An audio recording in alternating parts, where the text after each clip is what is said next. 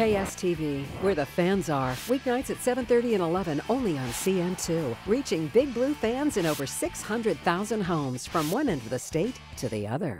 I mean, I haven't really talked to him. I mean, me, I mean, I feel like everybody should just make the right decision for them. So I'm not really going to talk to him about that.